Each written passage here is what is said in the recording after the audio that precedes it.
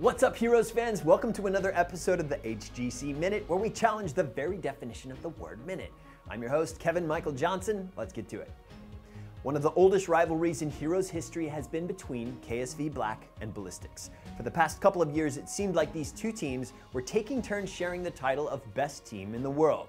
This past weekend, the two Goliaths met again for the first time in 2018. After four games, Ballistix took the series in a surprisingly dominant fashion.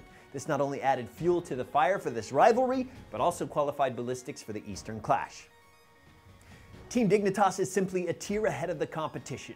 They moved past both Team Liquid and Fnatic this weekend without skipping a beat, and are now the clear favorites heading into the first Western Clash. There is seemingly no one in Europe that can hold a candle to this team of veterans.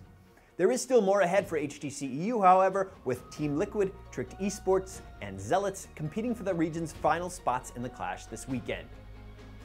Previously undefeated Team Freedom take not only one but two losses this weekend with an upset from Space Station Gaming and a reverse sweep from Team 12.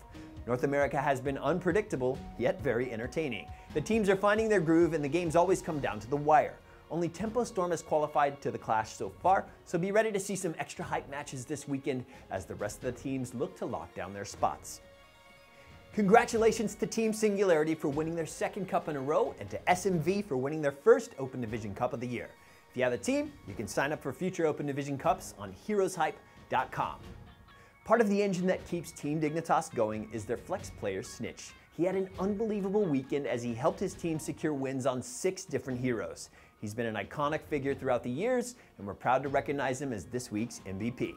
But here comes the engaged. Melf uses the Twilight Dream, and immediately we have the Sanctification used as well. The Leyline Seal, on the other hand, puts them into the ground. Tyrael dies, Bad Benny blown up, and now Breeze the next target. Bomb comes through, and Breeze blows up as Medivh completes Master's Touch. Dignitas keeping the pressure up. They even find a Hanzo as well as they slam in it against the wall. That's it for our HGC Minute. Here's a look at the global standings before we take off.